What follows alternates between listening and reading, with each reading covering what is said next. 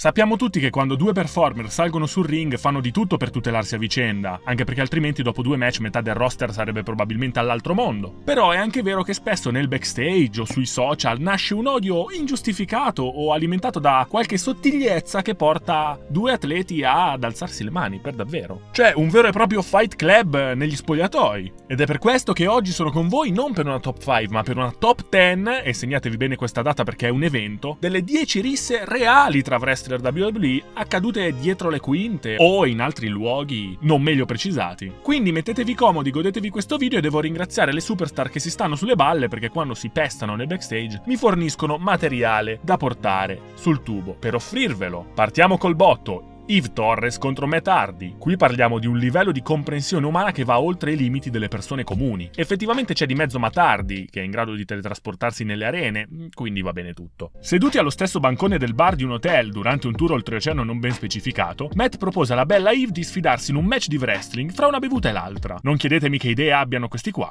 ma sorvoliamo. I due, pieni come una spugna dentro ad un secchio di whisky, iniziarono scherzosamente a provare qualche mossa a terra. E so che sembra l'inizio di una certa tipologia di video che tutti conosciamo, ma lasciatemi finire, sporcaccioni. Ad un certo punto il fratello di Jeff colpì per sbaglio l'occhio della donzella, che diventò immediatamente nero. Questo mandò su tutte le furie la Torres, che tra le altre cose praticava da diversi mesi il jiu-jitsu brasiliano. Mai far incazzare una donna. Per testare l'efficacia di quella disciplina, l'allora intervistatrice applicò una rear naked shock che fece perdere i sensi all'attuale membro della Ole Elite, tanto da farlo iniziare a russare sonoramente, scatenando le ironie dei colleghi per averle buscate così malamente da una donna. Io al posto suo mi sarei giocato la carta della sbronza imprevista, ma ormai è troppo tardi. Simon Gotch contro Sin Cara. Sin Cara unico è sempre stato un bel peperino. È noto che nel backstage cercasse sempre di provocare i colleghi per poi prenderli a calci nel culo vista la sua follia da gringo messicano. Nel 2016 trovò al catering Simon Gotch e mise in atto il suo piano diabolico, lanciandogli in faccia una bibita gasata. Sicuramente non è il miglior spot per la Sprite questo. L'ex compagno di Aiden English reagì, ma venne praticamente sodomizzato dal luciador mascherato e cartellato come una pignatta. In questo caso penso che al posto delle caramelle sia volato qualche dente per terra. Shimus contro Sin Cara. Rimaniamo in tema Sin Cara perché stavolta incredibilmente la colpa della rissa non fu sua, bensì dell'irlandese Shimus, il guerriero celtico grande, grosso e che condivide lo stesso colorito dello yogurt. Nel 2014 trovò Sin Cara in attesa di farsi controllare da un membro del personale dello staff medico. Senza tanti giri di parole gli disse Sono molto più importante di te, quindi vai a farti un giro e lasciami il tuo posto. Ovviamente Luciador, vedendo questo omone incazzato che ha sempre avuto la gimmick del brawler buzzurro da pub, accolse il consiglio e levò le tende. Vero? Assolutamente no! Andò faccia a faccia eh, cioè ok, forse faccia a capezzolo vista la differenza di stazza tra i due, e spintonò via l'ex campione WWE, mollandogli poi una cartella nel muso che intrecciò i neuroni di Shimus come le treccine della sua barba. I due vennero prontamente separati, ma ancora una volta la follia messicana ebbe la meglio. Io soy un sin cara loco Yoshitatsu contro Shimus! Incredibile, ancora lui! Però per parlare di questa storia bisogna fare un grosso salto indietro nel tempo, addirittura prima che esistesse NXT. Infatti parliamo dei tempi della FCW, l'allora federazione satellite della WWE, dove crescevano i talenti e venivano preparati per il lancio nel main roster. Ovviamente i soldi erano quelli che erano, ed infatti Yoshitatsu, Shimus e Teddy Biase Jr. erano coinquilini nello stesso appartamento. Beh, se erano coinquilini era già specificato. Il Celtic Warrior si comportava come il big boss della casa, facendo i suoi porci comodi ed utilizzando spesso gli oggetti degli altri due,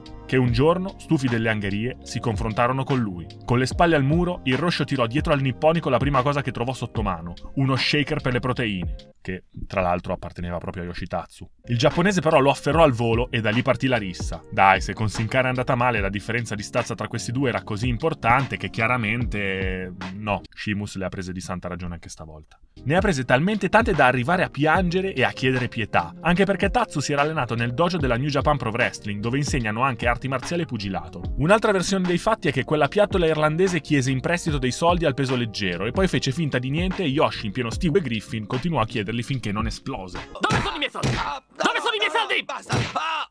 Joy Styles contro JBL. JBL, due metri di Cristiano additato come uno dei peggiori bulli mai passati dagli spogliatoi WWE. Non doveva certo essere una presenza piacevole, oltre ad aver mandato in depressione Mauro Ranallo a un altro precedente di bullismo ai danni di un telecronista. Durante il tributo alle truppe del 2008 in Iraq, il cornotone passò la maggior parte del tempo sbronzo come un quindicenne dopo il primo shot di vodka alla fragola, prendendosela per tutto il viaggio con Joy Styles e Lilian Garcia. La ragazza ovviamente non mosse un dito, ma l'uomo, stanco dei comportamenti dell'ex campione WWE, decise di reagire sferrando infilandogli una cocuzza dritta sul naso, stendendola a terra come una pelle di daino. Per diversi giorni il texano non aprì bocca con nessuno dei colleghi, standosene in religioso silenzio insieme al suo cellulare. Deve ritenersi comunque fortunato, visti i trascorsi del commentatore nella ECW originale, è già buono che non sia finito crocifisso con il filo spinato. Big Show contro Great Khali. Vi immaginate quanto goffa sia stata una rissa del genere? Eppure lo scontro tra titani avvenne per davvero. Cioè roba tipo King Kong contro Godzilla, che tra l'altro uscirà a novembre nei cinema. I due erano coinvolti in un tag team match e ad un certo punto il gigante indiano rubò il famoso spot delle chop all'angolo dopo aver chiesto all'arena di fare silenzio. Questo nel backstage fece infuriare di brutto Big Show che andò faccia a faccia, anzi faccia a mento, con Kali, dicendogli testuali parole. Brutto figlio di bottana, mi rubasti la mossa! Probabilmente non con questo accento, ma voi c'eravate per confermarlo? Io no. Ora, immaginate la risposta di Kali, che praticamente non parlava inglese e quando lo faceva con quell'accento sembrava avesse ingoiato un telecomando in orizzontale. Comunque fu qualcosa tipo Cosa stai dicendo, bro? Il gigante, ma aspetta, sono entrambi giganti. Il gigante americano tirò un calcio alla borsa di Kali. Chiaro segno di sfida, manco fosse lo schiaffo col guanto nel Far West. La battaglia era pronta ad iniziare. Big Show aveva un passato da pugile, mentre Kali da bodybuilder, ma anche da poliziotto in India. Minchia, pensate se tornate tornate alla macchina e beccate un cristiano, anzi un indù di 2,30 m a farvi una multa. La contestereste? Show mollò la prima mina sul mentone d'adamantio dell'unto, che però incassò e reagì con un pugnazzo a sua volta. Che poi questi hanno mani grosse come padelle. Immagino che per un comune essere umano sarebbe l'equivalente dello schiocco di dita di Thanos. Dopo una serie di pugni, il mostro del Punjabi mise a segno il colpo vincente, facendo indietreggiare Big Show che inciampò in una sedia e finì a terra perdendo l'equilibrio. Alcuni sostengono che fosse addirittura in lacrime. Oltre al danno però arrivò anche la beffa, perché Vince McMahon gli disse di scusarsi pubblicamente per aver attaccato Briga. Avrei pagato per vederlo. Batista contro Booker T. L'animale, oltre alla carriera nel wrestling, ha avuto anche una gloriosa parte nei panni di Drax il Distruttore e anche una parentesi nella MMA dove sconfisse Mimmo il Macellaio nel suo unico incontro. Oh, è pur sempre imbattuto, però. Booker T, dal canto suo, ebbe un'infanzia difficile, con sette fratelli, perse entrambi i genitori a 13 anni e pochi anni più tardi trascorse 19 mesi in prigione per rapina a mano armata. Diciamo che è l'ultima persona che vorresti davanti incazzata, ecco. E questo lo pensò anche Batista quando venne sopraffatto durante una rissa nel backstage. Correva l'anno 2006 e durante le riprese di uno spot pubblicitario per SummerSlam, Batista, da superstar assoluta qual era, stava iniziando ad assumere atteggiamenti un po' altezzosi, che al veterano 5 volte campione mondiale in WCW non andavano per niente giù. Durante questa campagna, The Animal non salutò quasi nessuno degli altri wrestler, ignorandoli e facendosi gli affari suoi. Taribo West si confrontò con lui e lo martellò per bene, con Drax che l'unica volta che lo colpì lo fece alle spalle quando l'alterco era ormai terminato. Oh, coraggioso, eh? Chris Jericho contro Goldberg. Sapete già quanto io stia godendo, vero? Lo sapete? Eh? Goldberg, un animale selvaggio con l'attire da fighter di arti marziali tra guantini e mutandini, con un passato da commentatore per una promotion fallita in poco tempo e perfino da giocatore professionista di football. Quanto potrà essere cazzuto in una rissa? Risposta? Pochissimo!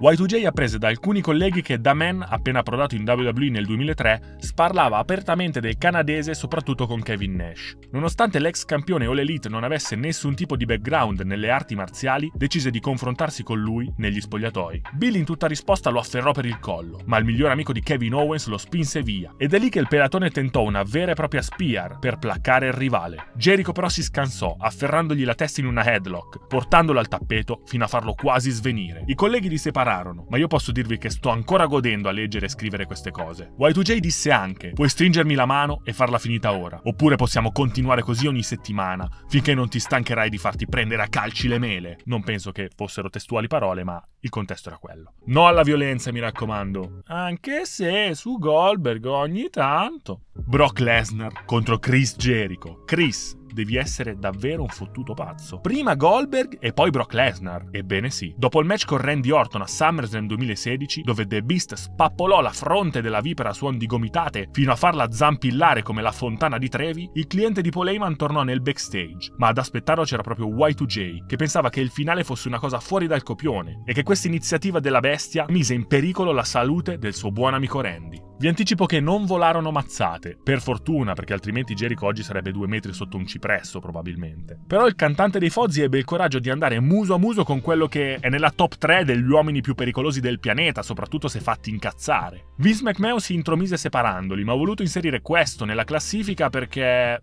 boh Cioè, Chris Jericho è ancora vivo per raccontarlo, quindi direi che è una grandissima vittoria. E per concludere, Brock Lesnar contro Kurt Angle, la bestia e l'eroe olimpico, probabilmente i due combattenti più incredibili di sempre come background passati dalla WWE. Insieme ad altri pochi eletti mi vengono in mente Ken Shamrock o Ronda Rousey. Nel 2003 uno era medaglia d'oro olimpico di lotta greco-romana e l'altro pluricampione di wrestling universitario dei pesi massimi, anche se ancora non era entrato nel mondo delle arti marziali miste. Per fortuna per il pelatone. E così, tanto per gradire, i due decisero di testare le loro skill per scoprire chi dei due fosse il miglior wrestler del roster. E proprio il roster non è che li separò, no, li incitò a fare questa prova. Ma quella partita come una scommessina per gioco degenerò nel più classico dei Fight Club, soprattutto quando l'ex campione UFC disse che non c'era storia perché era troppo più potente e grosso per uno della stazza di Kurt Angle. Per circa 12 minuti andarono in guerra vera. Brock, grazie alla sua forza bruta, dominò per gran parte della sfida, ma grazie alla maggiore esperienza e ad un background da campione olimpico, Angle riuscì ad atterrarlo mettendo fine al loro alterco. Ed è sicuramente una storia da raccontare ai nipotini perché Fra ha sconfitto Brock Lesnar in una lotta vera, anche se era ancora giovane e inesperto, ripeto, se fosse il Brock Lesnar di ora probabilmente Angle diventerebbe uno stuzzicadenti samurai. Bene ragazzi, anche per questo video è tutto, spero di avervi divertiti. Con questa top 10 e non top 5 riconoscete e premiate l'impegno con un bel like, commenti, condividete, datemi soldi, datemi... Pi- no, ho sbagliato, ma sto divagando. Noi, come al solito, ci sentiamo ad un prossimo video perché dal vostro Certified Why. Un bel hasta luego! Ciao!